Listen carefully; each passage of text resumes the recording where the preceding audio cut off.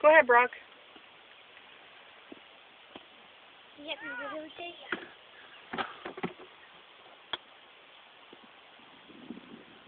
Keep hitting.